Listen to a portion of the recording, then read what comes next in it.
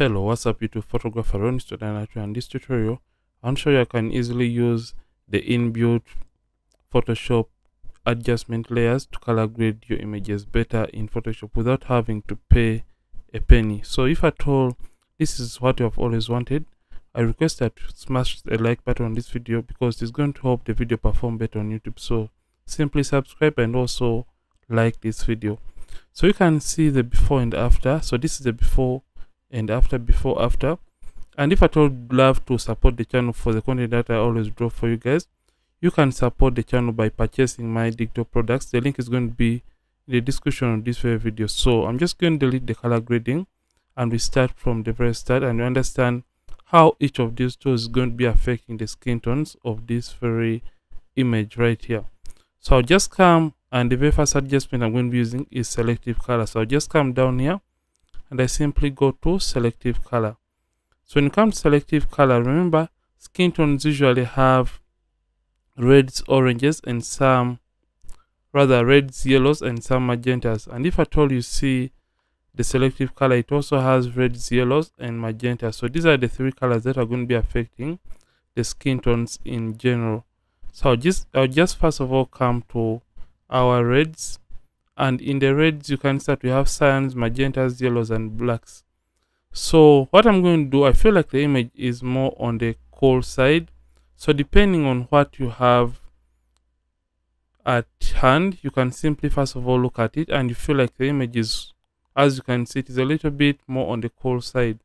So what i would love to do in the red channel selected i'll just come to my yellows and simply warm up the image slightly just by adding yellows. So cooling, you simply cool down like that. So just simply add in yellows and I'll add in more of the contrast to the red channel and you can see the image is getting to where I want it to be. So I'll just come to the cyans and simply add a tiny bit of this. So depending on what you want, you can add either this kind of reddish kind of look to the skin tone or you can add a greenish feel to the image. So i'm just going to add a little bit of the reddish kind of feel to the image. Up around negative 3 don't overdo this. So just come to the yellows right here. And under the yellows you can either let's just intensify the yellows in the image. And also going to come and take up the blacks of the yellow channel just like that so you can see what this has just done before after before after. But we are not yet done with this. So after you have done this the next thing we're going to do we are going to come down here and we're going to come to the black and white adjustment. Layer to add a tiny bit of contrast to the image. So by creating a black and white adjustment layer we are going to come and change the blend mode to multiply and simply take down the opacity of this very image just around 10 10 looks okay. So that's, the before after before after.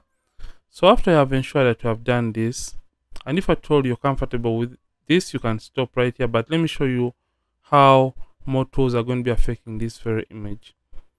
So after you have done this we're going to come to our color balance tool. So just going to come right here to color balance. And within the color balance you can either add a given color to the midtones highlights and the shadows. So for this case i'd love to add some color to the midtones so i'm just going to add a little bit of reds to my midtones just around three.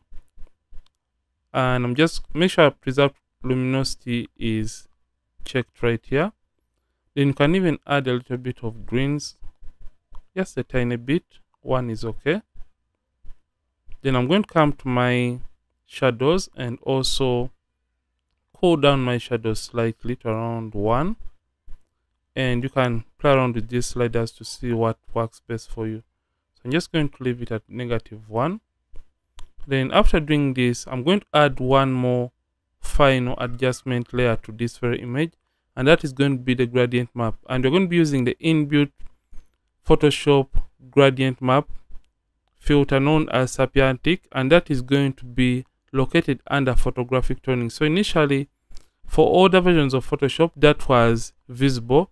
But if at all you have updated your photoshop that is going to be hidden under the legacy gradients and you may not easily find it. So you can easily find the photographic tool or option within photoshop?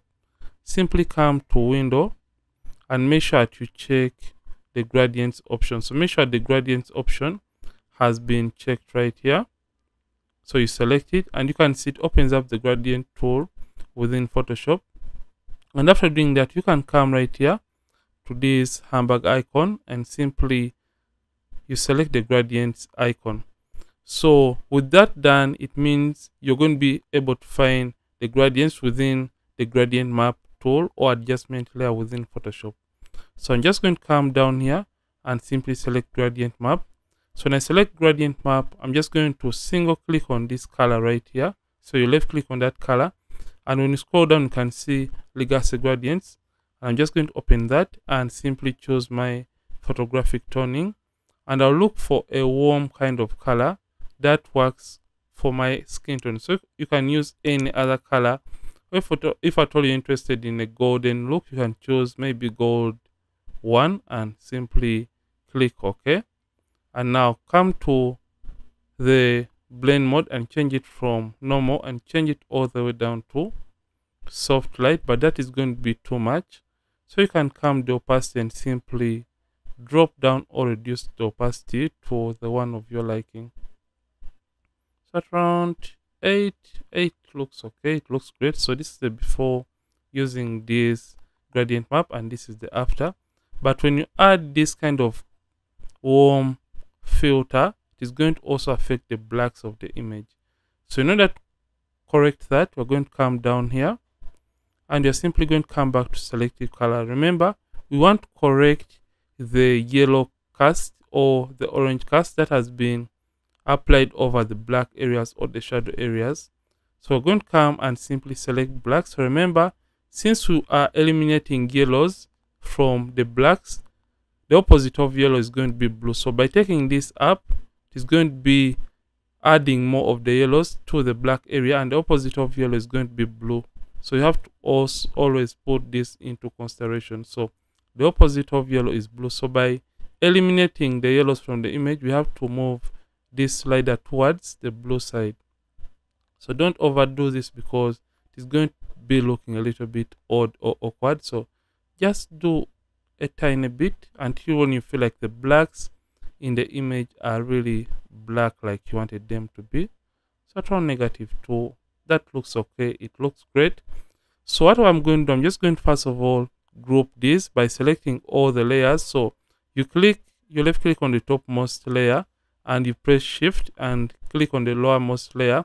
And you can press ctrl g on the keyboard or you can simply drag and drop them into the folder icon to put them in a group so you can see this is the before and this is the after before after before and after so when you feel like it is slightly changing or making a, a change regarding the makeup or lipstick, this is what you have to do. You come and create a layer mask by clicking on the layer mask icon, and that is going to create a white layer mask. So what you have to do, come and get, come to the brushes and get the brush tool, and make sure the hardness is zero and soft round brush has been selected.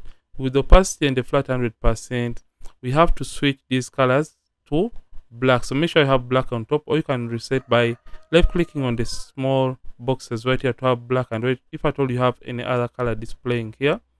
And now you can use x on the keyboard to toggle between black and white or you can even use this arrow key. So after doing that and if at all you want to eliminate the color grading from an area remember the color grading is still showing because white is the layer mask that we have remember in photoshop white reveals and black hides. So just want to hide the color grading from affecting the lips of the model by painting using a black brush on a white mask. So the black paint is going to be hiding the color grading. So I'm just going to zoom in. And by using the bracket keys, you can decrease or increase on the size of your brush tool. So I'm just going to paint only and only on the lips to reveal the original lipstick color. And you can see this is going to be revealed and you can do the same for the eyeshadow if at all the model has eyeshadow. So this is what we have as our final result so this is the before after before after and if at all you feel like you have gone overboard with the color grading you can come to the opacity and reduce it to your liking and you play around with the opacity slider or option. So that's the before after before after. So this is how you can easily color grade using the inbuilt photoshop adjustment layers or filters to get better and warmer skin tones for your images in photoshop. So this is it for this tutorial. And if at all you have learned a thing or two don't forget to like this video don't forget to subscribe this channel if at all you have been watching and you're not subscribed to this channel Ronnix from Ronnix Photography.